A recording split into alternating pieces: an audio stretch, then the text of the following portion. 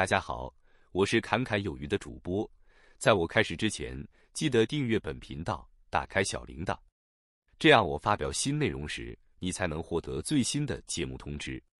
韩国产业通商资源部宣布，将总计投资一点一四一兆韩元，用于材料和零部件技术的研发 R&D，重点是打造先进产业的显著领先地位，稳定供应链。并实现碳排放中立性。三月上旬，韩国产业通商资源部首次公布了价值两千四百五十一亿韩元（折合一点八三七亿美元）的材料和零部件技术开发新项目。这些宣布的项目是一月十八日发表的《工业与能源研发投资战略》的一部分，计划围绕推进尖端技术、稳定供应链和实现碳中和。最初。六百九十四亿韩元将投资于旨在扩大半导体、显示器和航空航天等先进产业领先地位的技术，其中包括开发用于大容量汽车电池充电的氮化镓 GaN 半导体工艺设备和模块，扩展现实 XR 中的非接触式触觉材料，以及用于飞机发动机的轻质耐热铝化钛 TIL 压缩机叶片和低压涡轮叶片。支持三十五个新项目。此外，还将针对特定国家地区高度依赖的一百八十五个供应链稳定项目的技术开发新投资五百八十六亿韩元，这比去年的新增投资额增加五倍多。值得注意的是，这包括替代稀土元素的多层陶瓷电容器 （MLCC）、电动汽车电极废稀土磁体回收工艺技术以及生物二醇核心材料。和应用产品开发等项目的开发。此外，为了响应欧盟碳边境调整机制 （CBAM） 等全球环境法规，韩国还将新拨款五百四十五亿韩元，用于开发材料和零部件的碳中和技术。该部此前曾通过碳中和工业核心技术开发项目，支持钢铁和水泥等关键行业碳中和工艺技术的开发。今年。韩国产业通商资源部在其材料和零部件技术开发项目中增加了碳中和部门，支持二十九个项目，包括将废料回收成铝合金材料的技术，以及利用捕获的二氧化碳开发绿色纤维材料的技术。此外，政府还决定向吸引民间投资的企业提供六百二十六亿韩元的投资相关技术开发支援金。在以目标为导向的技术开发方面，已宣布的一百二十一个新项目中，有一百一十一个被规划为每个预算超过一百亿韩元的大型综合项目，旨在实现技术进步和快速掌握技术。此外，还有五十五个项目被设计为境外联动项目。与此同时，根据三星公布二零二三年度会计报告书显示，三星在二零二三年第四季度。清空了其持有的荷兰曝光机厂商 ASML 的剩余全部股份一百五十八点零四万股，持股比例百分之零点四，预计套现约一点二兆韩元。根据资料显示，在二零一二年，为了支持 ASML UV 曝光机的研发与商用，并获得 EUV 曝光机的优先供应，在二零一二年，英特尔、台积电、三星均斥资入股了。ASML，二零一二年七月，英特尔入股 ASML，获得百分之十五股权，并出资十亿美元支持研发。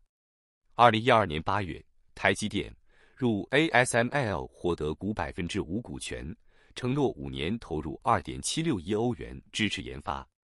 二零一二年八月，三星入股 ASML，获得百分之三股权，并额外投入二点七五亿欧元支持研发。有资料显示，三星当时对于 ASML 的投资金额为三千六百三十亿韩元。虽然三星是这三家厂商当中入股最少的，但是盈利却很多。因为台积电早在二零一五年就清仓了 ASML 的股票，英特尔则在二零一七年、二零一八年及之后也陆续卖掉了持有的 ASML 的股票。三星在虽然在二零一六年三季度也卖掉了其所持有的大约一半的 ASML 股份，套现约七千五百亿韩元，但仍持有大约百分之一点六的股份。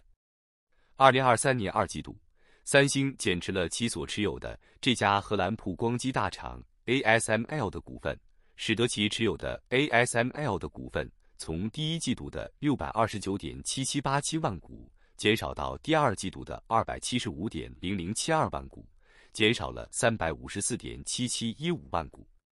三星电子持有 ASML 的股份比例也从百分之一点六降至了百分之零点七，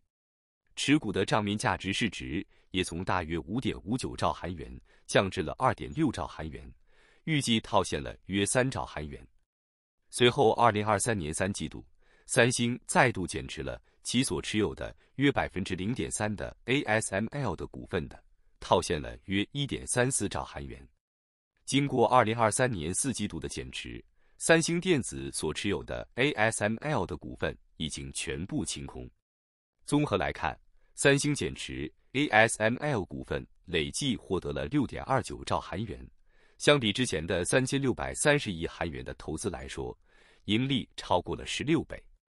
业界认为，三星此次出手 ASML 股份是为了其半导体投资筹集资金。尽管全球经济放缓，三星电子仍然继续增加投资，以增强未来竞争力。另据韩国媒体报道，三星电子已经通知客户和合作伙伴，从今年年初开始，将第二代三纳米工艺改名为二纳米工艺。其实，在去年年底就有相关消息称，三星意欲将第二代三纳米工艺改名，现在已经基本得到确认。一位业内人士表示，他们接到三星电子的通知，他们正在将第二代三纳米改为二纳米。去年与三星代工厂签订的第二代三纳米合同也同步改为二纳米，所以他们近期需要重签合同。今年一月份，韩国媒体报道称，三星电子已经着手制造第二代三纳米制程 SF 三的试制品，并计划在六个月内。将良率提升至百分之六十以上。根据三星之前公布的资料显示，与上一代 SF 四工艺相比，SF 三工艺在功耗和电晶体数量不变的情况下，效能可以提升百分之二十；在效能不变的情况下，功耗可以降低百分之三十四。其实这也不是三星晶片工艺第一次更名，在二零二零年的时候，三星就曾将第二代七纳米工艺。更名为五纳米工艺，当然改名字的手法，英特尔也深谙其中。英特尔日前就表示，台积电和三星的二纳米制程工艺的量产时间都需要等到二零二五年。此外，在背面供电技术方面，台积电也要等到二零二六年量产的 N2P 制程才能采用。也就是说，最快今年，英特尔就将会实现在先进制程上。对于台积电的反超，预计英特尔二零二五年上半年商用的 Intel 十八 A 将会进一步扩大领先优势。此前，英特尔执行长基辛格在接受采访时表示，Intel 十八 A 制程效能表现将领先于台积电 N 二节点二纳米制程。虽然 Intel 十八 A 制程与台积电 N 二制程的电晶体 transistor 密度似乎差不多。但英特尔的背面供电技术更加优秀，这让硅晶片拥有更好的面积效率 （area efficiency），意味着成本降低。供电较好，则代表表现效能更高。不错的电晶体密度、极佳的供电，让 Intel 18A 制程略领先台积电 N2。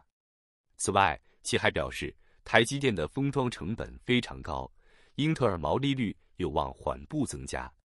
当然。最后，二纳米之战的真正赢家还需要市场大客户来用脚投票。那么，本期影片到这里就结束了，感谢你的观看，期盼能与你产生共鸣。侃侃而谈，阔论有余。最后，请你点赞、订阅，这是对本频道最大的支持了，谢谢。